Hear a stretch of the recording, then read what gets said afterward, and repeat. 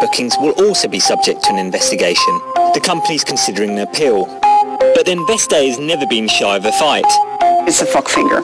You met the Google executives in this room? Uh, yes. But that was not only for them because it's always here.